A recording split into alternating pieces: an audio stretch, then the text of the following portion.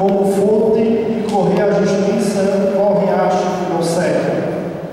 Esse é o lema da nossa campanha que nós vamos estar vivenciando né, nesses, nesses dias. Mas queria aqui ainda fazer alguns registros. Registrar a presença, a participação do Conselho Municipal de Desenvolvimento Rural Sustentável de Pesqueira e também de Pedra e Poção.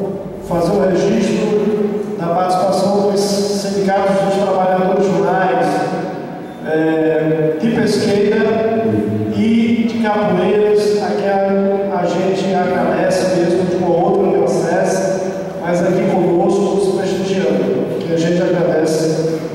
E fazer o registro também da participação do Rotary da pessoa de Nilo.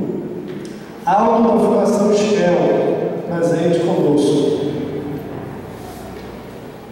Nesse momento, nós queremos fazer uma apresentação